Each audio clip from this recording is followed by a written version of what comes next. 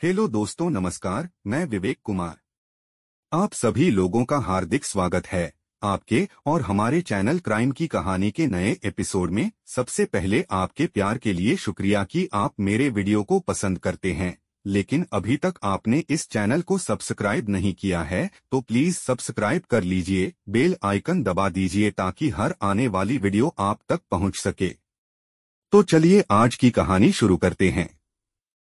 Valentine day यानी 14 फरवरी 2023 का दिन था। नाला सोपारा इलाके में भी इस समय अच्छी खासी चहल पहल थी। लोग रोज़मर्रा के कामों में व्यस्त थे। शाम के समय वहाँ के निवासियों को सीता सदन बिल्डिंग से बदबू आती हुई महसूस हुई तो किसी अनहोनी की आशंका से उन्होंने इसकी सूचना इलाके के तुलिंज थाने में फ़ोन करके दे दी। यह सूचना सुनकर पुलिस सीता सदन बिल्डिंग की तरफ़ निकलने की तैयारी करने लगी।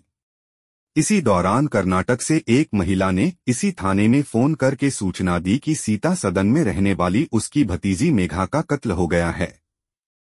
उसे यह बात स्वयं कातिल हार्दिक ने व्हाट्सएप पर मैसेज करके बताई है।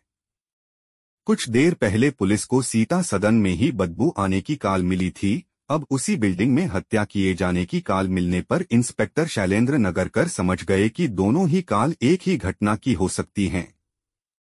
इसलिए वह पुलिस टीम के साथ घटनास्थल की तरफ़ निकल गए। जब वह वहाँ पहुँचे तो देखा कि मुख्य दरवाजे पर ताला लगा था। उन्होंने ताला तुड़वाकर कमरे में प्रवेश किया तो कमरे में एक बेड पड़ा था, जिसके अंदर से भयंकर बदबू आ रही थी। बेड का बॉक्स खोला गया तो उसके अंदर सड़ीगली हालत में एक महिला की लाश मिली। लाश की खराब हालत को देखकर ऐसा लगता था जैसे उसकी हत्या लगभग दो से तीन दिन पहले की गई होगी, क्योंकि शव सड़ने लगा था और उससे तेज बदबू बाहर निकल रही थी। घर के अन्य कमरों की तलाशी लेने पर वहाँ घर गृहस्थी का कोई अन्य सामान नहीं मिला। लाश की सभी एंगल से फोटोग्राफी करवाने और फिंगरप्रिंट लेने के बाद उसे पोस्टमार्टम के लिए मोर्चरी भिजवा दिया गया। इंस्पेक्टर शैलेंद्र नगरकर ने पड़ोसियों से घटना के बारे में पूछताछ कर मालूम करने की कोशिश की तो पता चला कि कोई एकाध महीने पहले एक दंपति यहाँ किराए पर रहने के लिए आया था। पड़ोसियों को इस मकान के अंदर से अक्सर उनके लड़ने की भी आवाज़ें आती थीं, जिससे लगता था उनके आपसी संबंध ठीक नहीं रहे होंगे। चूँकि पड़ोसियों को उनके व्यक्तिगत मामले से कुछ लेना देना नहीं था। शायद इसलिए किसी ने उनके पर्सनल मामले में हस्तक्षेप करना ठीक नहीं समझा था। मृतक मेघा के साथ रहने वाला युवक हार्दिक गायब था।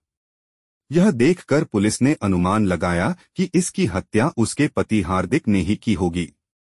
क्योंकि उसी ने मेघा की चाची को व्हाट्सएप पर मैसेज भेजकर मेघा का कत्ल करने की बात कही थी। अब पुलिस को पूछताछ के लिए उस युवक की तलाश थी लेकिन पड़ोसियों में से किसी ने भी उसे फरार होते हुए नहीं देखा था। आखिरकार मकान मालिक और रियल स्टेट एजेंट को बुलाकर इसमें रहने वाले युवक के बारे में पूछताछ की गई। इस जाँच में केवल इतना पता लगा कि युवक का नाम हार्दिक शाह और महिला का नाम मेघा धन सिंह थोरवी था। लेकिन पूछताछ में सबसे अच्छी बात यह हुई कि पुलिस को मकान मालिक से हार्दिक का मोबाइल नंबर मिल गया। सीता सदन को सील कर इंस्पेक्टर शैलेंद्र नगरकर की टीम वापस थाने लौट गई। उसी रात यानी 14 फरवरी 2023 को मेघा की हत्या का मामला दर्ज कर लिया गया। मामला दर्ज करने के बाद पुलिस आरोपी हार्दिक की तलाश में जी जान से लग गई। इंस्पेक्टर शैलेंद्र नगरकर ने अपनी टीम को घर के आसपास लगे सीसीटीवी की फुटेज खंगालने का आदेश दिया। साथ ही आरोपी हार्दिक के मोबाइल नंबर को सर्विलांस पर लगाकर उसकी लोकेशन को ट्रेस करना शुरू किया तो 12 फरवरी को उसके ट्रेन द्वारा मुंबई से राजस्थान के लिए रवाना होने का पता चला। इस वक्त वह ट्रेन में सवार था। इंस्पेक्टर शैलेंद्र नगरकर ने मुंबई के मीरा भायंदर वसई विरार की अपराध शाखा और मध्य प्रदेश के नागदा स्थित आरपीएफ पुलिस को आरोपी के बारे में सूचित कर दिया। आरपीएफ की मदद से हार्दिक को यात्रा के दौरान ही मध्य प्रदेश के नागदा रेलवे स्टेशन से उस समय गिरफ़्तार कर लिया गया, जब वह ट्रेन की बोगी में यात्रा कर रहा था। अपराध शाखा की टीम ने आरोपी हार्दिक को नागदा से लाकर तुलिंज थाने के इंस्पेक्टर शैलेंद्र नगरकर को सौंप दिया। इंस्पेक्टर शैलेंद्र नगरकर ने हार्दिक से पूछताछ शुरू की तो हार्दिक ने मेघा की हत्या का जुर्म स्वीकार कर लिया। अपने इकबालिया बयान में आरोपी हार्दिक ने जो कुछ बताया, वह इस प्रकार है। हार्दिक शाह एक मॉडर्न ख्याल का युवक था। वह मुंबई में मलाड के एक नामचीन हीरा व्यापारी संपत भाई का बेटा था। घर में दौलत की कमी नहीं थी, इसलिए उसका सारा दिन सैरसपाटे और मौज मस्ती में गुजर जाता था। जैसा कि आमतौर पर देखा गया है कि आजकल लड़के की कोई न कोई गर्लफ्रेंड ज़रूर होती है। हार्दिक शाह को भी सोशल मीडिया पर चलने वाले विभिन्न ऐप पर नई लड़कियों से दोस्ती कर उनके साथ चैटिंग करने में बड़ा मज़ा आता था। बात सन 2018 की है। एक डेटिंग ऐप पर हार्दिक शाह की मुलाकात मेघा धन सिंह तोरवी से हुई। चौंतीस वर्षीय मेघा तोरवी मूल रूप से केरल की निवासी थी, लेकिन इन दिनों नालासोपारा के एक अस्पताल में नर्स की नौकरी करती थी। इन दिनों लड़के हों या लड़कियाँ अपने से बड़ी उम्र के पार्टनर के साथ इश्क करने से गुरेज नहीं करते। हार्दिक और मेघा तोरवी के साथ भी कुछ ऐसा ही हुआ। हार्दिक शाह की उम्र 24 साल थी, जबकि मेघा तोरवी 34 की थी। वह हार्दिक से लगभग 10 साल बड़ी थी। लेकिन प्रेमिका के बड़ी उम्र के होने से हार्दिक को कोई परेशानी नहीं थी। अगर आप हमारे चैनल पर नए हैं तो आपसे विनम्र निवेदन है कि कहानी में आगे बढ़ने से पहले कृपया क्राइम की कहानी चैनल को सब्सक्राइब कर लीजिए, बेल आइकन दबा दीजिए ताकि मेरे हर वीडियो का नोटिफिकेशन आपको मिलता रहे। हमें आपके सहयोग की बहुत ज़रूरत है। कुछ दिनों तक आपस में चैटिंग करने के बाद उनका मिलना जुलना शुरू हो गया। धीरे धीरे दोनों एक दूसरे के इतने करीब आ गए कि उन्हें अब एक दूसरे से दूर रह पाना मुश्किल लगने लगा। आखिरकार उन्होंने लिवेन रिलेशनशिप में रहने का फैसला कर लिया। हार्दिक मलाड स्थित अपने पैतृक घर से दूर आकर विजयनगर में एक मकान लेकर मेघा के साथ रहने लगा। हार्दिक जैसे मालदार प्रेमी का साथ पाकर मेघा अपने जीवन को धन्य समझने लगी। हार्दिक ने मेघा के सामने अपने पिता की दौलत को लेकर ढेर सारे कसीदे पड़े थे, जिसे सुनकर मेघा सपनों की सतरंगी दुनिया में विचरने लगी थी। उसे लगता था कि हार्दिक के साथ उसकी बाकी की ज़िंदगी बड़े आराम से गुजरेगी। हार्दिक को खुश रखने के लिए वह अपनी सारी कमाई उस पर लुटाने लगी।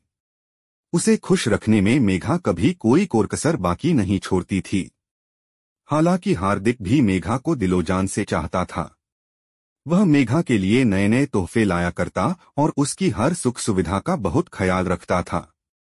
मेघा जब नौकरी के लिए जाती तो वह उसे छोड़ने और छुट्टी के समय उसे लेने जाता था। हार्दिक के पिता उसे जेब खर्च के लिए हरेक महीने बीस हज़ार रुपये देते थे। दोनों की ज़िंदगी मज़े में गुजर रही थी। तभी 2019 के मार्च महीने में कोरोना फैलने के डर से पूरे देश में लॉकडाउन लगा दिया गया। इस लॉकडाउन से लोगों के काम धंधे छूट गए। हार्दिक और मेघा भी इससे बच नहीं सके और उनकी भी ज़िंदगी परेशानी में घिर गई। कुछ दिनों के बाद हार्दिक ने फिर भी डेटा कलेक्शन का काम करके घर की स्थिति को संभाल लिया। 2022 में जब देश में लॉकडाउन हटाने की घोषणा हुई तो मुंबई का जनजीवन सामान्य होने लगा। इसके बाद जब हालात ठीक हो गए तो मेघा ने फिर से अपनी नौकरी पर जाना शुरू कर दिया। उनके घर में खुशियाँ पहले की बहाल हो गईं। सब कुछ ठीक ही चल रहा था। हार्दिक बीच बीच में मलाड स्थित अपने पिता के घर भी चला जाता था। अभी तक हार्दिक ने अपने घर में मेघा के साथ रहने की बात नहीं बताई थी। उसे मालूम था कि उसके पिता मेघा को अपने घर की बहू के रूप में कभी स्वीकार नहीं करेंगे। एक बार किसी काम में हार्दिक ने पिता के चालीस लाख रुपए गवा दिए। इससे उसके पिता बहुत नाराज़ हुए थे। करीब आठ महीने बाद अगस्त में हार्दिक ने मेघा से शादी कर ली और विजयनगर से नाला सोपारा के सीता सदन में रहने चला आया। यहाँ हार्दिक और मेघा ने लोगों को यही बताया कि वे पति पत्नी हैं।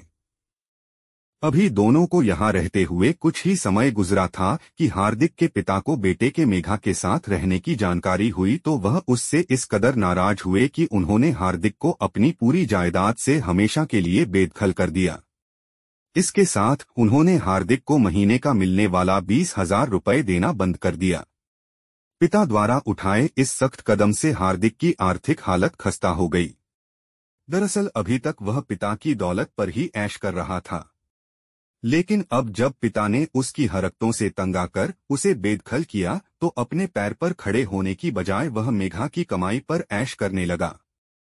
उसे लगता था कि मेघा उसके बेरोजगार पड़े रहने पर कुछ नहीं कहेगी।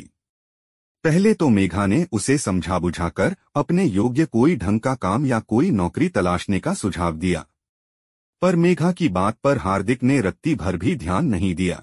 वह मेघा की कमाई पर ऐश करने लगा, जिससे मेघा को घर का खर्च पूरा करने में परेशानी होने लगी। हार्दिक के हाथ पर हाथ रखकर बैठे रहने से घर चलाने की पूरी ज़िम्मेदारी मेघा के नाजुक कंधों पर आ गई। रुपए पैसे की किल्लत के कारण उनके घर में क्लेश रहने लगा। हार्दिक मामले की नजाकत को नहीं समझा और मेघा के पैसों पर ऐश करना जारी रखा। आखिर में 11 और 12 फरवरी 2023 की रात हार्दिक के बेरोजगार रहने को लेकर बात बढ़ जाने पर हार्दिक अपना आपा खो बैठा और तौलिए से मेघा का गला घोट कर मार डाला। मेघा की लाश को छिपाने के लिए उसने उसकी लाश बिस्तर में लपेटकर बेड के बाक्स में रख दी। पुलिस द्वारा पकड़े जाने से बचने के लिए वह यहाँ से बहुत दूर चला जाना चाहता था। लेकिन उसके पास पैसे नहीं थे। इसलिए अगले दिन उसने घर के सभी महँगे सामान कम कीमत पर बेचकर कुछ रुपए इकट्ठा किए।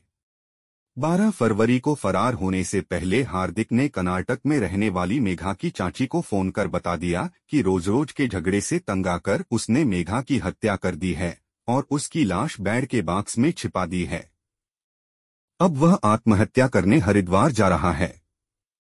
इसके बाद वह घर के दरवाजे पर ताला लगाकर रेलवे स्टेशन पर पहुँच गया। वहाँ से उसने राजस्थान जाने के लिए ट्रेन पकड़ी मगर पुलिस ने 15 फरवरी 2023 को बीच रास्ते से ही उसे गिरफ़्तार कर लिया। उसे मुंबई के वसई की अदालत में पेश किया गया, जहाँ से उसे 21 फरवरी 2023 तक के लिए पुलिस कस्टडी में भेज दिया गया। कहानी को लास्ट तक सुनने के लिए आपका धन्यवाद। इस कहानी के बारे में अपनी राय कमेंट करके ज़रूर बताइएगा और ऐसी ही अपराध की सच्ची कहानियों के लिए हमारे चैनल क्राइम की कहानी को सब्सक्राइब कर लीजिए। धन्यवाद।